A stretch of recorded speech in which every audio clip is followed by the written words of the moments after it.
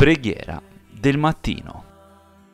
O Signore, permettimi oggi di trattare tutte le persone che incontrerò come hai fatto tu, che non hai respinto coloro che prendevano di più di quello che davano, incoraggiando coloro che sono inquieti, reputando le persone dipendenti capaci di essere libere.